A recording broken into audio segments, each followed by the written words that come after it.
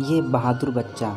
इसका नाम है ओम प्रकाश यादव और यह सिर्फ़ 11 साल के थे और इन्होंने जलती हुई वैन से आठ बच्चों को बचाया था, जिसमें ये खुद भी जल गए थे। आप इनका चेहरा देख सकते हो।